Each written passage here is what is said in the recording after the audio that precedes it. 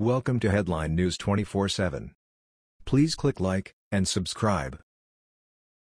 CNN reporter nearly gets into physical fight at briefing, gets smacked back to reality by Sarah.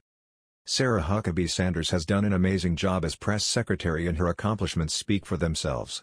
However, that does not stop the liberal mainstream media from twisting her words, trying to put her down, and overall treating her like garbage. But nonetheless, she takes it all in stride.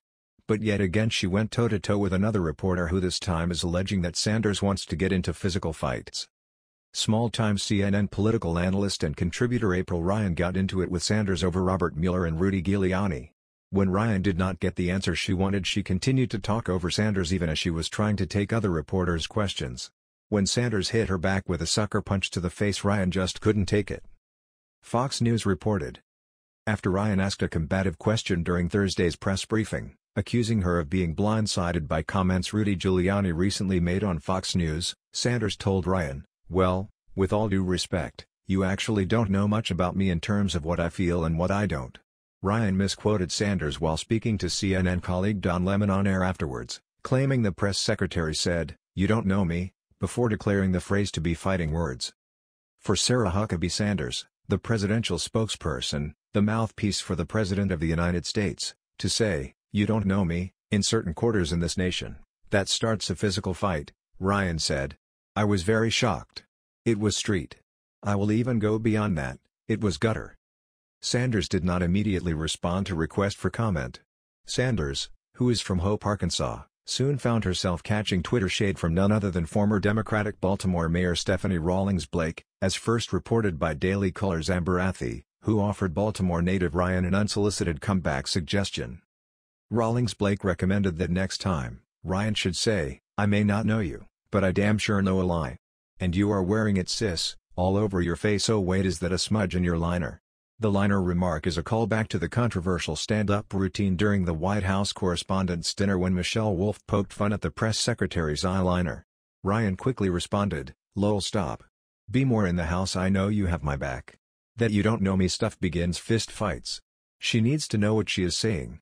I am not the one. Rawlings Blake then responded, already took my earrings off and Vaseline in my purse, and added a fist emoji, to which the CNN political analyst fired back, that is what I am talking about. Take off that pretty ring to fourth. Sick, street fight. Lol. Ryan and Sanders have been involved in verbal altercations in the past. Sanders recently slammed Ryan, who is American Urban Radio's White House correspondent, for asking if President Trump has thought about stepping down. Sanders fired back, no, and I think that's an absolutely ridiculous question.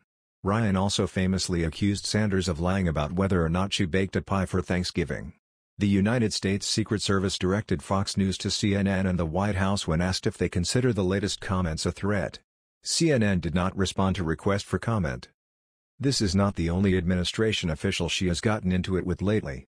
Former Press Secretary Sean Spicer got into it with her as well and Ryan took the opportunity to take their fight to social media.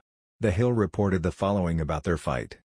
Journalist April Ryan pushed back at former White House Press Secretary Sean Spicer on Saturday for saying she was interested in personal fame when asking pointed questions during press briefings. Ryan, a correspondent for American Urban Radio Networks, joked that Spicer couldn't run her over with his podium, a reference to the famous Saturday Night Live skit depicting Spicer with a podium on wheels, because he was fired. Um he can't he got fired remember by Ed Scaramucci and they never called him back, Ryan said, referring to Anthony Scaramucci, who served as White House Communications Director for less than two weeks last year.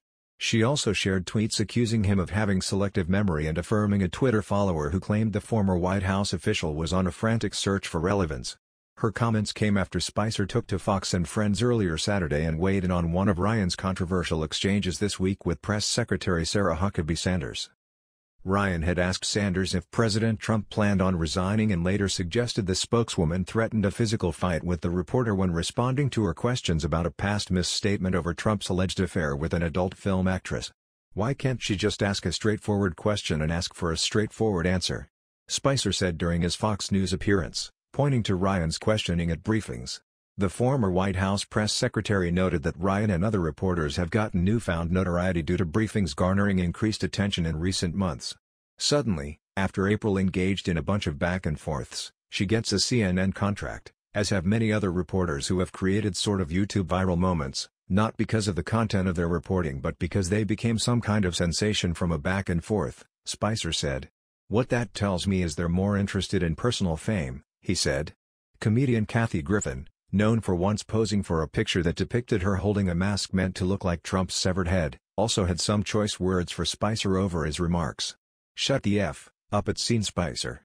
She's famous after decades of hard work and because of the terrible way you and Sarah have treated her, Griffin tweeted. This is exactly why the press briefings are not always recorded.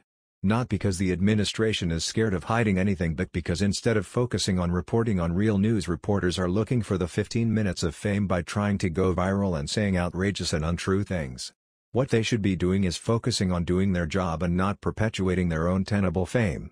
That is not what reporting is all about and it is a shame that this is what it has become in recent years. Especially since President Trump came into office. That was the news. We thought you might be interested in knowing about this. Please click like and subscribe.